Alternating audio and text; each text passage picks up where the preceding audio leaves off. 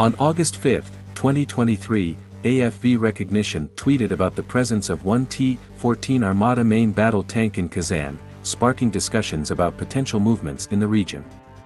Speculations arose regarding whether this sighting was linked to activities at the Kazan Higher Tank Command Order of Zhukov, Red Banner School, situated in the Central Military District. The institution has a history of training specialized command personnel for Russia's armored and mechanized forces. Focused on tank and motorized rifle operations, the school aims to equip officers with specific expertise. Over time, the school has adapted to changing military needs while retaining its core mission of preparing officers for tank and mechanized units. Graduates from the institution, including notable figures like General Valery Vasilyevich Gerasimov, the Chief of the General Staff of the Russian Armed Forces and First Deputy Minister of Defense, have gone on to contribute to Russia's defense and security, holding positions as generals and high-ranking officers. This tank was observed sporting the distinctive Russian tricolor AFV camouflage, a pattern often seen on BTR-82A armored vehicles.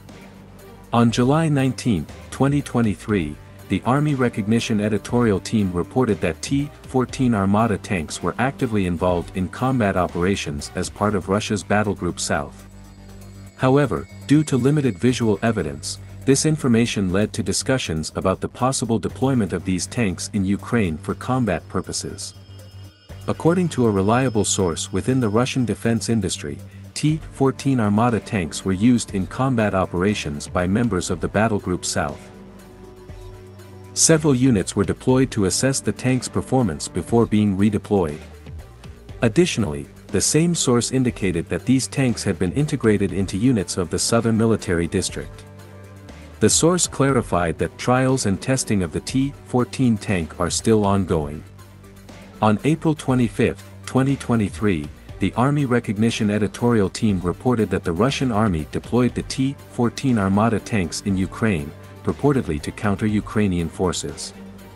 However, these tanks had not been engaged in any direct attack missions up to that point.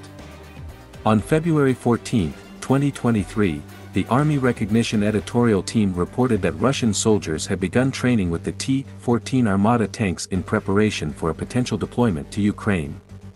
According to information from Russian sources, the deployment of T-14 Armata tanks in Ukraine aimed to counter the introduction of Leopard 2A6, Challenger 2, and M1A1 Abrams tanks provided by the United States and European nations. The T-14 Armata is a next-generation main battle tank developed by Russia's Uralvagonzavod, a leading tank manufacturer. Its development began in the early 2010s as part of the Armata Universal Combat Platform, aiming to create a versatile and modular system adaptable for various combat roles. The manufacturer publicly unveiled the T-14 Armata tank during the 2015 Victory Day Parade in Moscow.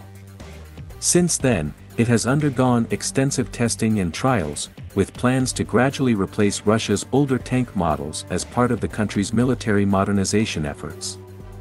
The T-14 Armata exhibits a distinct design compared to its predecessors like the T-72, T-80, and T-90 tanks. One significant difference is its unmanned turret, housing the primary weapon and an autoloader. The three-person crew is located in an armored capsule at the front of the hull, separate from the turret. This design aims to enhance crew survivability and results in a lower overall profile.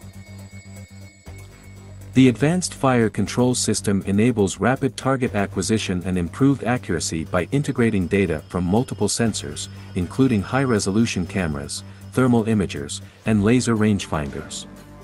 The T-14 Armata's modular design, based on the Armata Universal Combat Platform, allows for easy upgrades and customization to fulfill various roles, including infantry support, reconnaissance, and heavy assault. The T-14 Armata is recognized for its advanced protection features. It employs a combination of composite armor, explosive reactive armor, and an advanced active protection system, APS, named Afganit, capable of detecting and intercepting incoming projectiles. Powered by a 1,500 horsepower diesel engine, the T-14 Armata can achieve speeds of approximately 56 miles per hour, 90 kilometers per hour. Its advanced suspension system and relatively low weight contribute to impressive maneuverability and off-road capabilities.